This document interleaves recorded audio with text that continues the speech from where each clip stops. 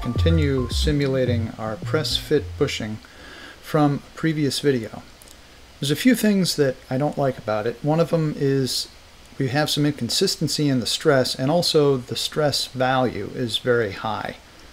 So let's see if we can improve on both of those. We'll begin by going to the CAD part where we'll reduce the interference between the bushing and the link. We'll do that with the synchronous modeling radial dimension.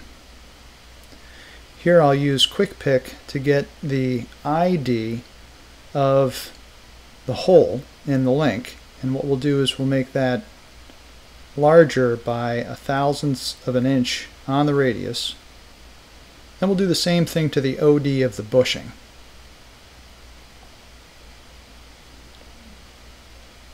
And since it's only going for radial faces, we can get the first face on the quick pick and we'll make that smaller by a thousandth as well.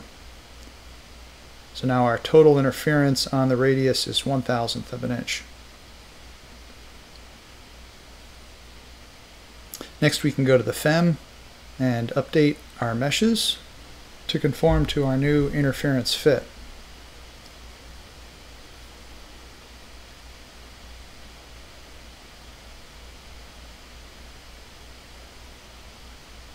Alright, next let's check the materials for our link and our bushing. So here we'll get information on our link mesh and we were inheriting materials. Here you can see that steel has been inherited for the link. That's incorrect, that should be aluminum. And sure enough, aluminum has been assigned to our bushing, that should be steel. So let's go ahead and swap that. We'll do that right here in the FEM by editing our collector and we'll assign a material of aluminum to all of the meshes that are in this collector. And then we'll create a new collector for our steel.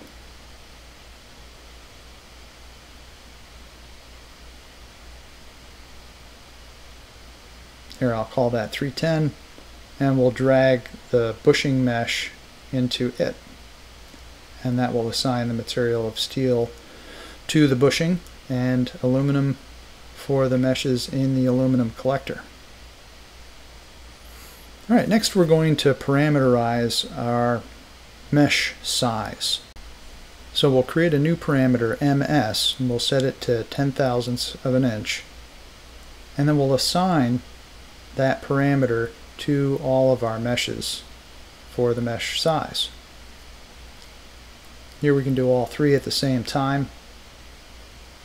And we'll point it to our expression ms.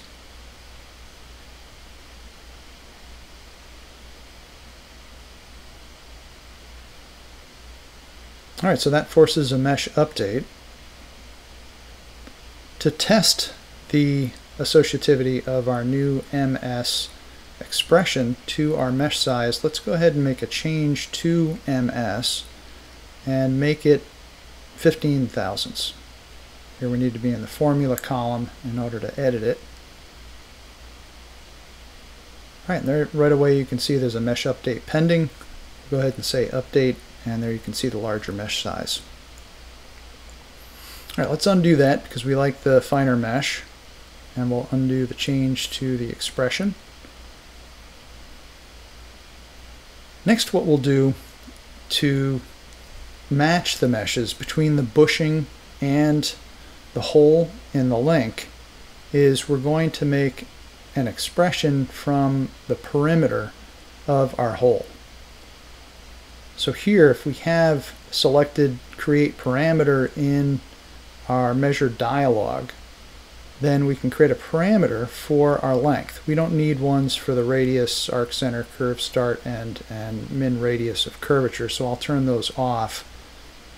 But here, if we go to the expression dialog, after hitting OK to our measure, you can see that we now have a measurement for our perimeter around the hole. We're going to use that in specifying a mesh control in our FEM, which will control the number of elements around the perimeter of our bushing and around the ID of our hole.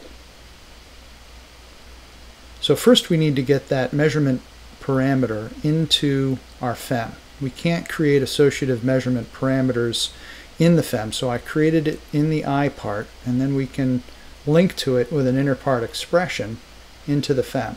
So here you can see our interpart expression for our measurement. I'll call that perim so that we can identify it more easily later. And we're going to use that in defining a new expression, which will be the number of elements, NE, around our OD of our bushing and the ID of our hole.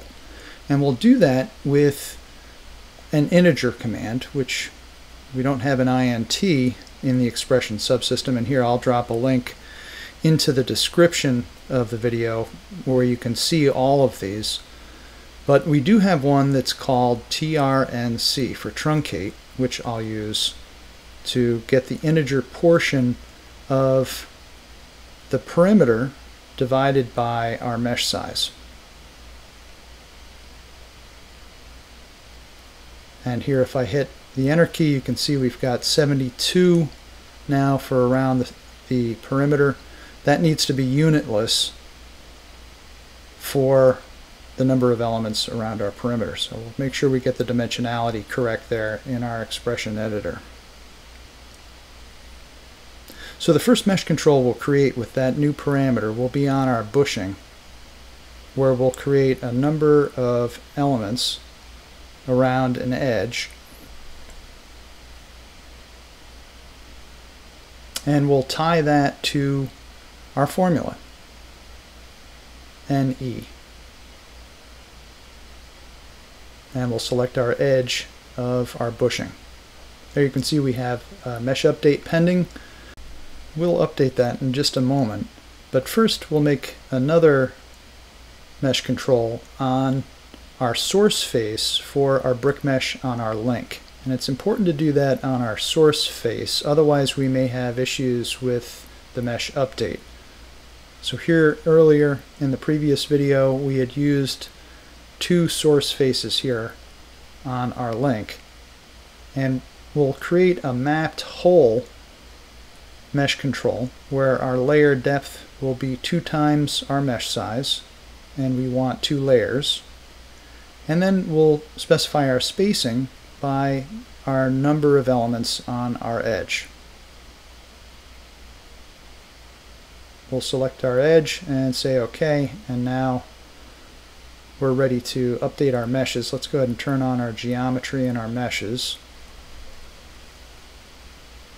And now we'll see after the mesh updates that we have the same number of elements going around the perimeter in our hole as we do on our bushing.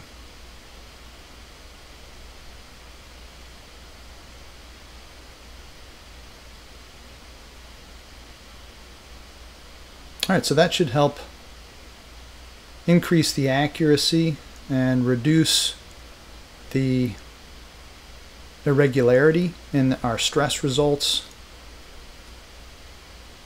So here we'll go ahead and solve. I'll pause the video, but we can watch the time step convergence here.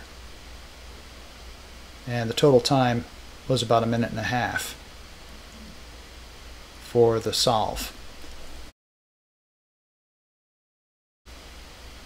Alright, so let's take a look at our results. Displacement results still look consistent no irregularities there. Next we'll look at our stress results. Here we can see that the maximum stress has been reduced by our CAD and material changes. However, we still have irregular stress results. Now this can sometimes be due to inaccuracies with the node placement on our polygon geometry.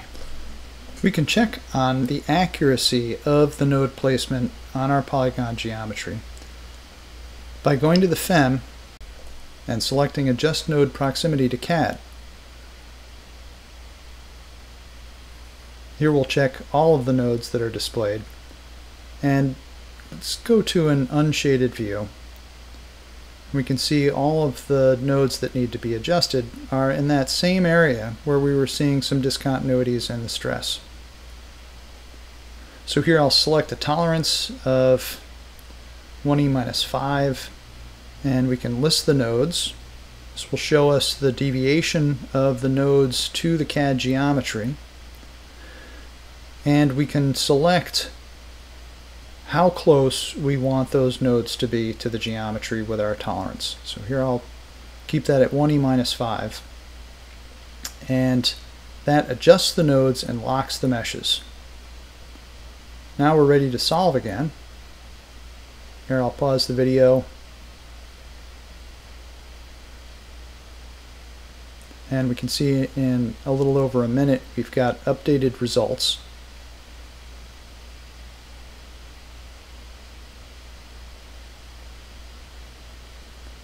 And let's take a look at our stress results. And here we can see that we've eliminated our discontinuity in our stress in that location. So that was just due to the inaccuracies of the node placement and the high degree of accuracy required for accurate stress results.